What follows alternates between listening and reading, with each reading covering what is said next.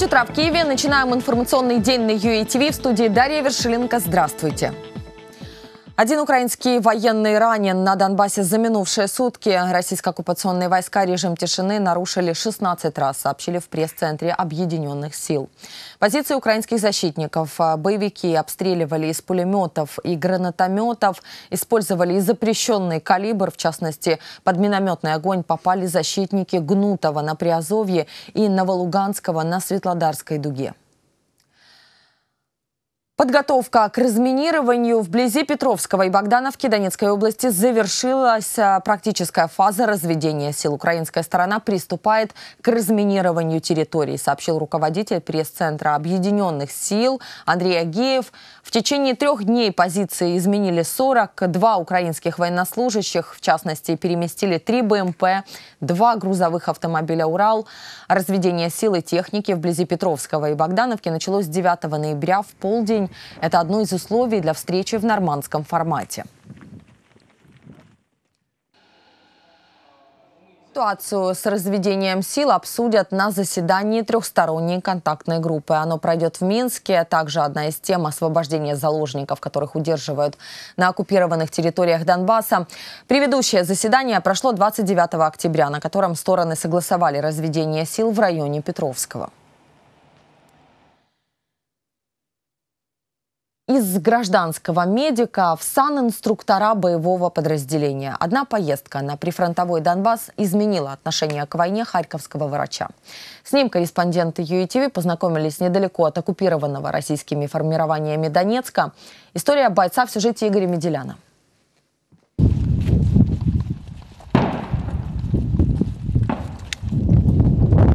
Ух, с подствольным. Прилет, да, как у меня?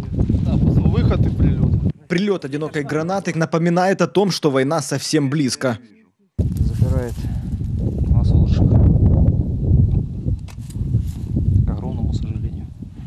Евгений – боевой медик роты. Вместе с товарищами они проводят нас на одну из позиций. Вот обережный снайпер актуальная вообще сейчас? Ну, да. да, конечно, актуально, еще как.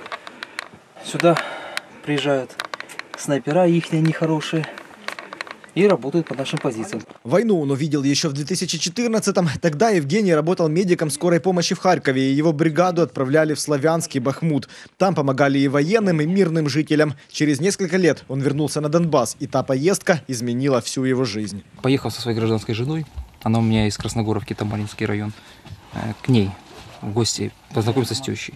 Он посмотрел на город, город прифронтовой, увидел картину разрушений – вот, и меня это сильно впечатлило, я решил пойти служить. Вот надоело все это. Минувшим летом он впервые попал на фронт. Сейчас их подразделение удерживает один из важнейших рубежей на Донецком направлении – шахту Бутовку. Здесь Евгений пережил свои первые бои и первые потери. Тяжело было смотреть на то, как умирает твой товарищ. Было дело, когда нашего товарища снайпер смертельно ранил – вот. Мы оказывали ему первую медицинскую помощь. Боролись до последнего, но спасти не удалось. Бороться до последнего за каждую жизнь. С этим принципом, говорит Евгений, он работал в мирной жизни, с ним же воюет на передовой. Здесь открыл для себя одну фронтовую истину. Там, где смерть совсем близко, человеческому притворству нет места. Здесь каждый проживает жизнь, вот, как последний раз. То есть каждый день как последний. Чтобы сохранить жизни товарищей, он часто проводит с ними занятия по тактической медицине, а еще каждый день обходит траншеи, проверяя пути эвакуации на случай, если кто-то из бойцов получит ранение. Из Донецкой области Игорь Меделян, Александр Чабан, ЮАТВ. Военную помощь Украине замораживали в Вашингтоне по политическим причинам. А, предоставить ее хотели в обмен на расследование против семьи Байденов. Об этом заявила зампомощника секретаря обороны США по вопросам России, Украины и Евразии Лаура Купер на слушаниях в Палате представителей Конгресса. Они проходят в рамках расследования возможного импичмента американского президента Трампа. Информацию можно увидеть в стенограмме ее выступления. Купер также заявила, что указ указывала властям на проблемы, которые могут возникнуть из-за задержки помощи Белым домом. Палата представителей США запустила процедуру импичмента против американского президента в конце, в конце сентября. Демократы обвинили Дональда Трампа в давлении на украинского коллегу Владимира Зеленского во время телефонного разговора 25 июля. По их данным, Трамп э, призывал главу Украины начать расследование против одного из главных соперников на следующих президентских выборах Джо Байдена и его сына Хантера. Демократы уверены, таким образом Трамп пытался втянуть Украину в американские выборы и злоупотреблял злоупотреблял своей должностью. Владимир Зеленский на полях Генеральной Ассамблеи ООН заявил, давления на него со стороны Трампа не было. Украина подписала контракт о поставке самолета Ан-178 для Перу, сообщила госпредприятие «Антонов». Теперь украинские суда будут в арсенале национальной полиции Перу. Украина участвовала в открытом тендере и победила, опередив самолеты от компании «Леонардо» и «Airbus». Э, подписав этот договор, Киев открывает рынок Латинской Америки для нового поколения грузовых самолетов «Антонов», говорится в сообщении. А максимальная высота полета Ан-178 – 12 тысяч километров, дальность 5,5 тысяч, а скорость 825 километров в час. Самолет может садиться и взлетать э, с любых аэродромов, в том числе и грунтовых. 60 спутников а, для создания сети глобального интернета запустила в космос компания SpaceX. Ракета-носитель Falcon 9 успешно стартовала со станции Кейп Канаверал в американском штате Флорида, сообщает официальный сайт SpaceX. В компании подчеркнули, что если спутники не выйдут на орбиту, 100% их компонентов сгорят в атмосфере. Это лишь небольшая часть эксперимента для создания глобального покрытия интернетом. Всего SpaceX планирует запустить 12 тысяч спутников. Половину из них удастся отправить в космос до 2024 года. Классика и джаз. В филармонии сегодня состоится концерт известного австрийского трубача Томаса Ганша и Национального президентского оркестра. Среди классиков Херберт Кларк, Джакина Россини и Александр Арутюнян. Джазовые композиции австрийских авторов. Э, с репетиции оркестра вернулась Инесса Занина.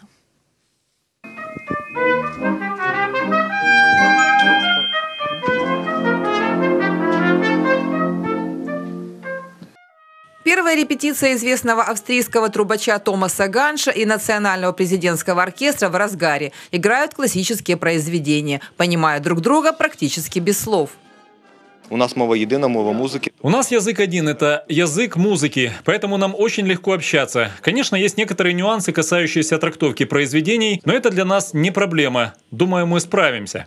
Среди классических произведений Херберт Кларк, дебютант и увертюра к сивильскому цирюльнику Россини.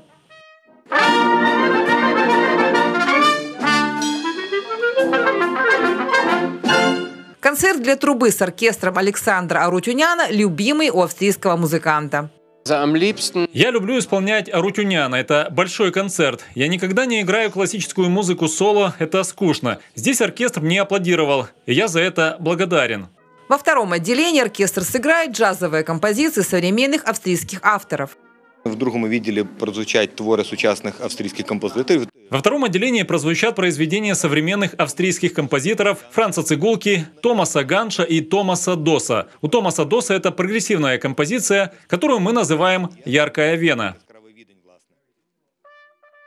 Томас Ганш приехал по приглашению президентского оркестра в рамках Года культуры Австрия-Украина. Это начало проекта, который инициировал украинский коллектив. В дальнейшем планируют пригласить исполнителей из США и Японии. Инесса Занина, Антон Куница, UATV.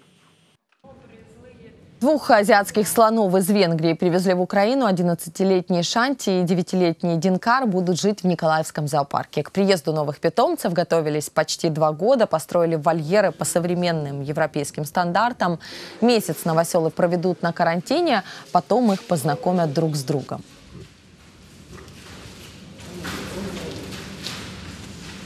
С той стороны пускай. Мы можем даже очень сложная была подготовка и получение слонов. А, как никогда сложно. Два года у нас ушло на то, чтобы добиться от Европейского Союза получения слонов а, Николаевский зоопарк. Перед этим была сделана огромная реконструкция помещения. Построен новый вольер совершенно.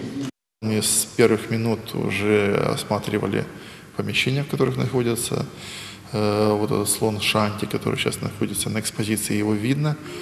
Он э, заинтересовался вот, приготовленным песком, он себя им осыпал, он сбирается на эту песчаную кучу, он по ней спускается с другой стороны, ему нравится ходить. Новости об Украине на пяти языках мира на сайте телеканала utv.ua. Спасибо, что смотрите, спасибо, что вам интересна Украина. Следующий выпуск новостей на русском менее чем через два часа.